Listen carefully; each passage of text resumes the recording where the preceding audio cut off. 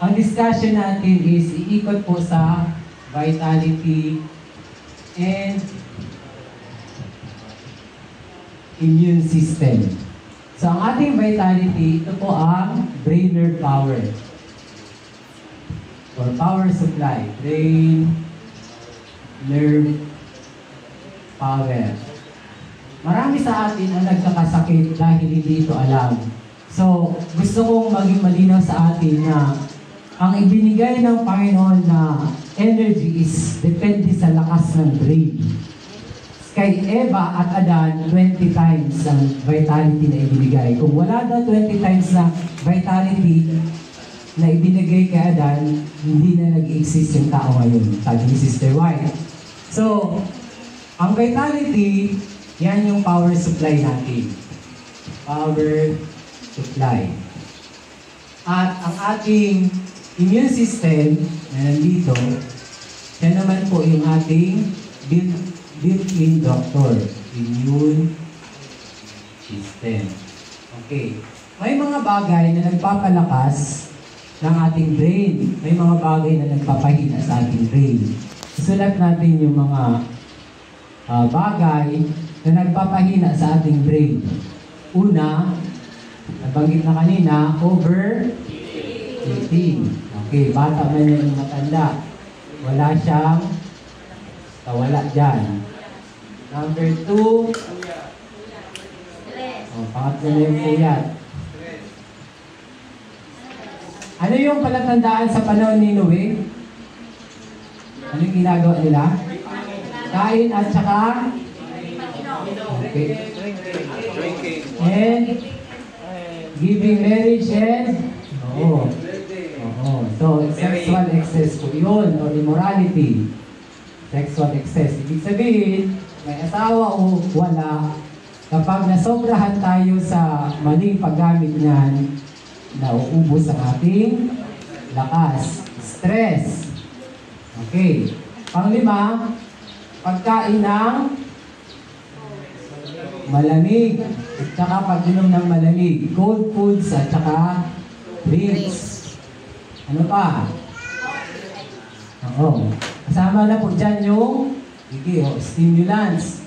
Yung coffee, yung tea, iced tea, ano pa? Milk tea. Milk tea o energy drinks, lahat ng stimulants nakakasira sa ating power supply o brain.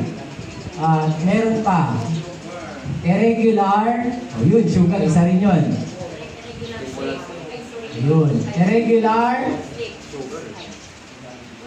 time for eating and sleeping. Okay. So, hindi maiwasan dyan talaga yung mga manggagawa natin din. Kahit sino man, kahit hindi manggagawa, regular na member, yung oras ng pagkain, yung oras ng pagtulog, pag hindi naging regular yan, lalo na yung bata, talaga ang nanay, o yan, kawawa.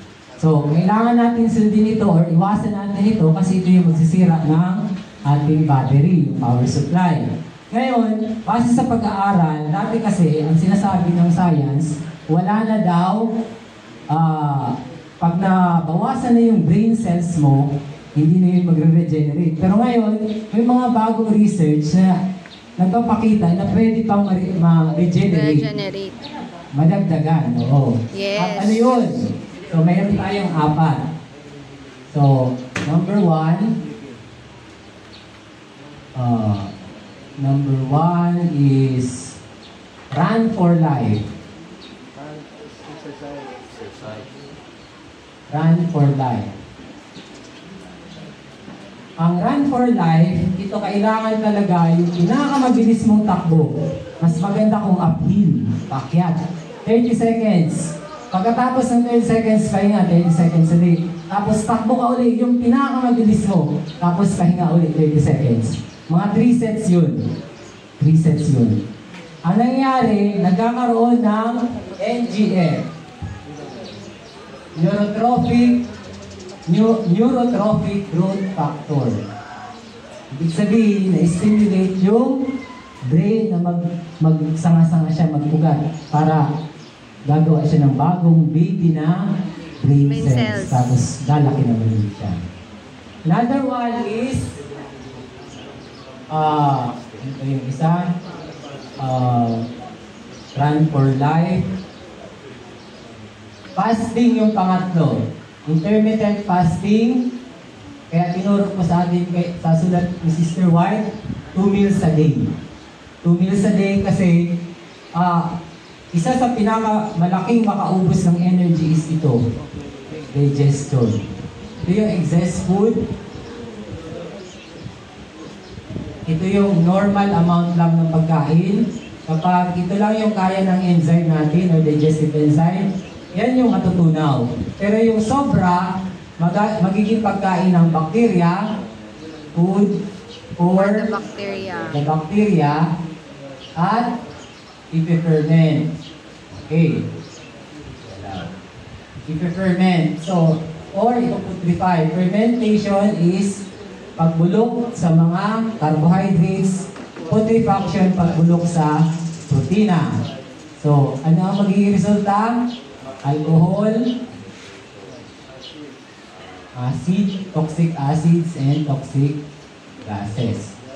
Okay, kung may kabag, minsan nakakabag ang mga bata kahit matanda.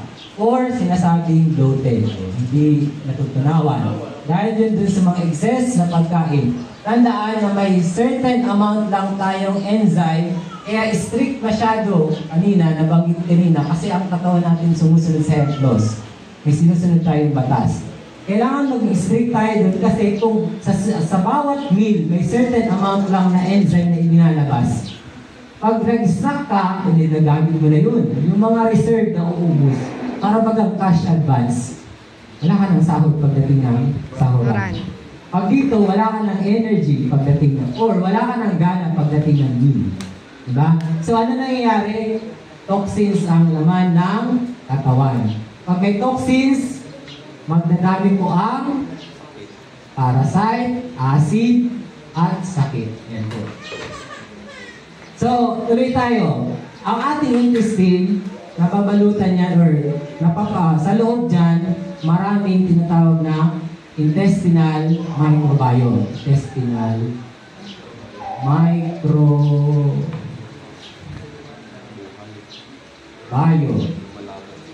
So, ito yung mga balance ng good, bad, and good bacteria. And tandaan na ang ating katawan, ang ating system, ay nagraran po yan in accurate balance. Accurate balance. Pag dumami yung bad bacteria, mas dadami yung acid, mas magkakasakit. Kaya napaka napaka ah, halaga kasi ang ating dugo, ang pH level niyan is 7.35 to 7.45. So ibig sabihin, ang acid, ang neutral 7. Ang 0 hanggang 6, yan po yung acid. Ito yung neutral. At ang 8 to 14, yan po yung alkaline. Ang tawag dito is pH ah, numbers. Ang pH numbers, yun yung magsasabi kung alkaline ba, acid neutral. So ang ating dugo, ito po yun. Ngayon, ibig sabihin, slightly alkaline siya. Papunta siya dun sa 8 to 14. So ibig sabihin, kapag kumain ng kumain overeating, snacks, ano pa ba? Ito, sugar, mga stimulants, napuyat, etc. etc. Dadami yung mga acid, dadami yung toxins. Ang liver magkakaroon ng fats. Kasi ang toxins, itatago niya yun into fats. Itatambak niya sa fats. Kaya nagkakaroon ng fatty liver. So, kapag naging fatty ang liver, tanda natin, more than 500 ang functions ng liver. Tandaan natin, kapag na, na, na nabalot ng taba, hindi niya magagawa ito. Kaya irritable. Kaya mainitin ang ulo yung kanina nabanggit na. Kahit dito kapag barado to, ang sabi ng Testimonies Volume 9, 159. Basahin natin. Ay, ito yung cellphone ko. Basahin po natin. 159, 159. Alam niyo po ang sabi doon,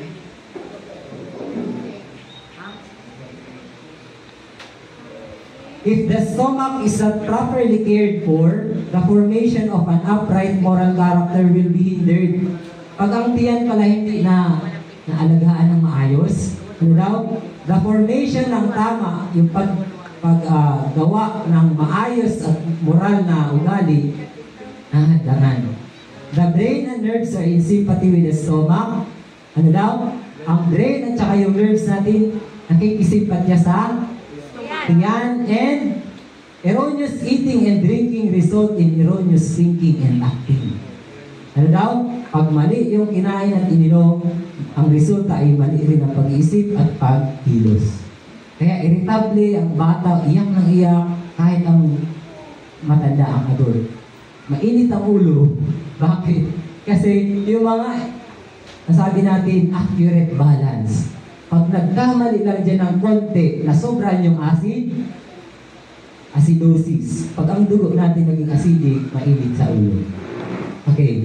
So, balikan natin ang Diyos nang hikipag-usap sa ating brain. Sa ating brain. So, kapag barado ito, dahil nga sa mga nakain natin hindi healthy, yun nabanggit ni Sister Sweet kanina na may mga cakes, pastries, na alam naman natin, it, they contain allergens. Ito yung gusto kong matatak sa ating isipan. Itong mga terms na to, intestinal microbiome, enzyme, allergens, ano pa ba? Fermentation, vitality, immune system, itong mga bagay na to, napakahalaga kasi kapag hindi natin alam na may may lamang allergens, yung itlog, gatas, wheat, etc. etc. Uh, yung GM corn, GM soy, ano pa ba?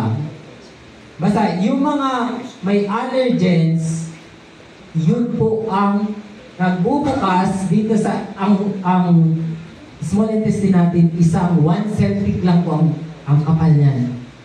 One Celtic. Imagine mo kung gaano kal- kaliit ang cell. Hindi na natin nakikita yung cell, kailangan ng microscope. Ang kapal, ang, ang nipis niyan, grabe kanipis. Yun ang, yung, yung ang, ano na, ang wall ng intestine. Napakanipis. Kaya, yung mga kinain, parang katsa. Yung kinain natin, pag piniga yung juice sa katsa, yung mga sapal, yun yung nailalabas sa itatapon. Yun yung dumi. Yung katas noon, yun yung na-absorb sa dugo. Kaya, ang nangyayari, pag may especially itong wheat, itong wheat, meron pong tinatawag itong uh, gliadin. Gliadin. Ang gliadin, yan po ang nagpapalambot para yung masikip na nagdidikit-dikit doon sa, para bagang, alam niyo yung gutter, pag ang gutter masyadong hinat na, oo, hindi na siya elastic, oo, hindi na siya nabalik. So, parang yung katsa, pag hininat niya ng hininat, eh, hindi na nga yung elastic, talagang malalaki yung butas. Makakapasok yung malalaking particles, di ba? Yung sapal, pasok yun doon. Pag nakapasok yun, diretso sa dugo. Mag-aatake yung antibodies. Akala nila kalaban. Magkakaroon ng tinatawag na inflammation. Inflammation. Pag sinabing inflammation, ang example niyan, pag natapilok ka na maga, di ba minsan na-aksidente o kaya na napilay, na-aksidente, tapos namamaga, di? Inflammation ang tawag doon.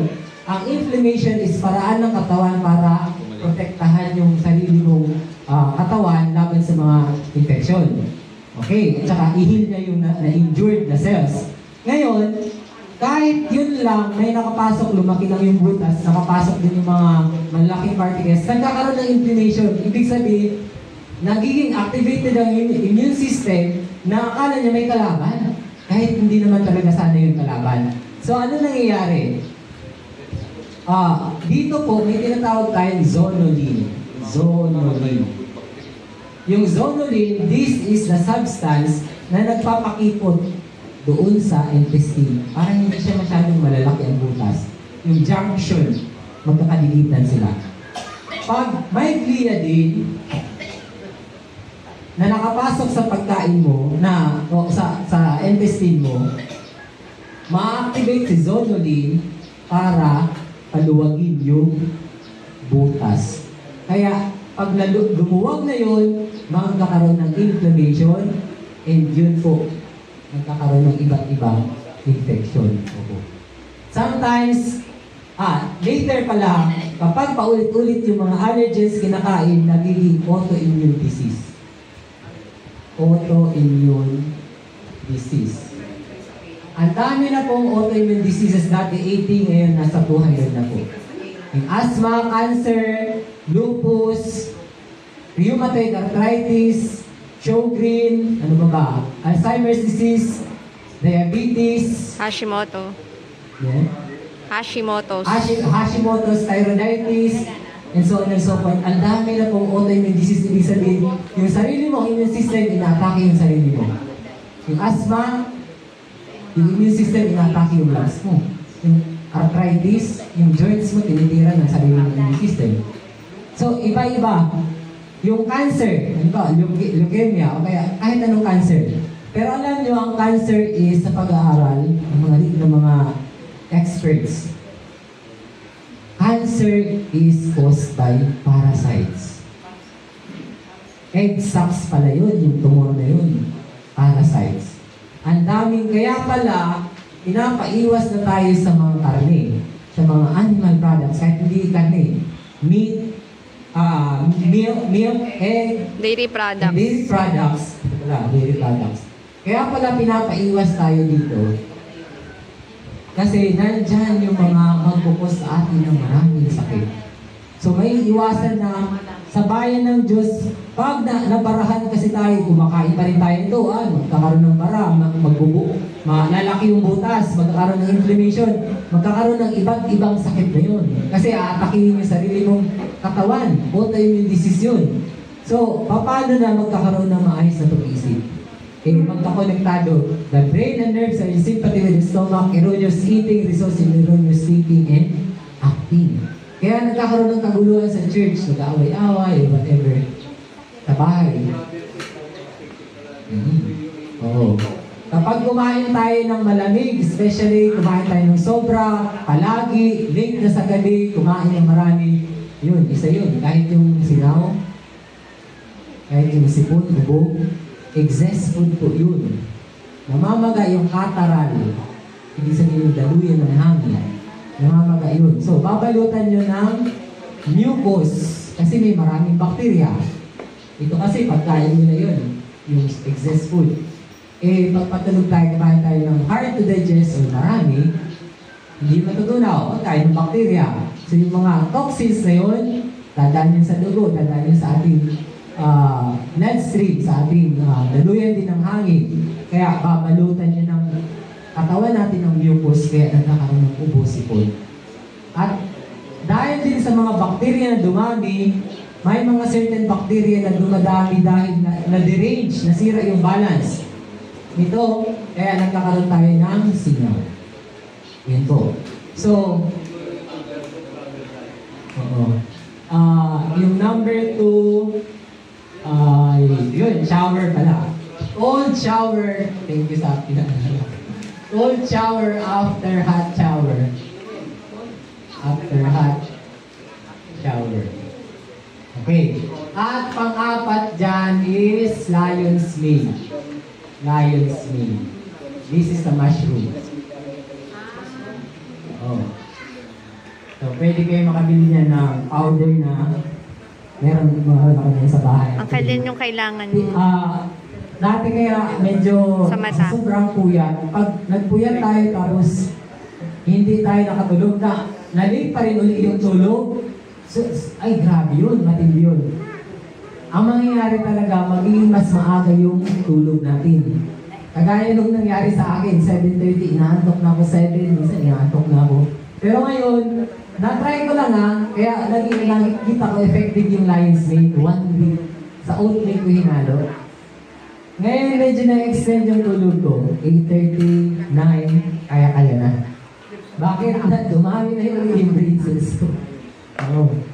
So, malaking tulong kapag medyo nasira dahil sa mga mali nating nagawa before, pwede kong ano. Pero, again, huwag na tayong magpuyat.